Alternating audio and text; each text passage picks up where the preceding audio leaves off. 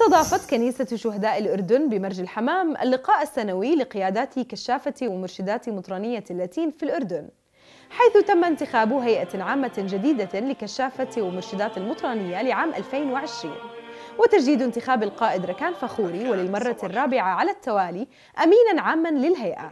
وقد أقيم بهذه المناسبة قداس احتفالي رعاه سيادة المطران ويليام الشوملي مطران اللاتين في الأردن وبحضور المرشد الروحي للهيئة الأب إبراهيم نفاع وكاهن الرعية الأب أشرف النمري وعدد من الآباء الكهنة حيث قدم سيادته التهنئة لرئيس وأعضاء الهيئة الجديدة.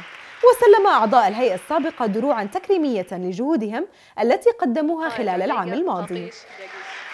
تعالوا إلي يا جميع المتعبين والمرهقين والمثقلين وأنا أريحكم. احملوا نيري وتتلمذوا لي. يعني يسوع لما بدعونا لمسؤولية هو يحملها معنا ويخفف من العبء.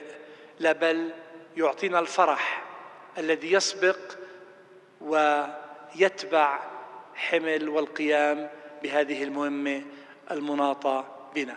بهذه المناسبة أهنئ جميع أعضاء الهيئة الجديدة وأطلب لكم من الله أن تتمكنوا من القيام بها, خير قيام.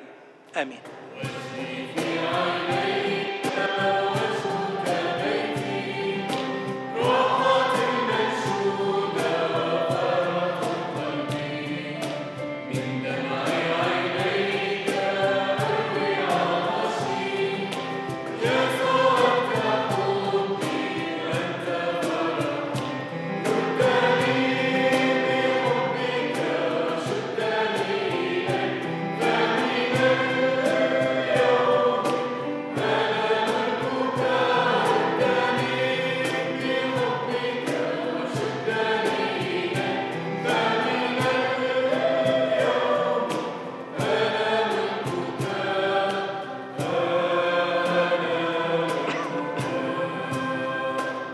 بداية أشكر أخوة الكشفيين لاختياري للسنة الرابعة على التوالي.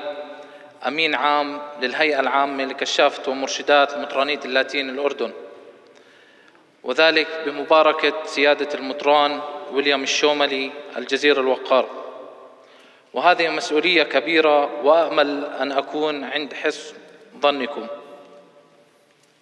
الكشفية ليست حركة شبابية يأتي منها الأفراد لممارسة النشاط أو العزف فقط بل هي روح تنمو في داخلنا وعطاء من دون مقابل وجهد مبذول من دون كلل أو ملل وطريق لنهج حياتنا. ومن هنا أتقدم بالشكر الجزيل لكل من قام بدعمنا وحضور هذا احتفال. آملين من الله التوفيق لهذه البداية للعام الجديد ومواصلة دعم الشباب في كل مجموعاتنا. وتقديم كل ما هو أفضل لهم وتشجيع تطوعهم وخدمتهم للكنيسة والمجتمع والوطن. ونشكر سيادة المطران ويليام الشوملي لترأسه قداس هذا المساء الاحتفالي.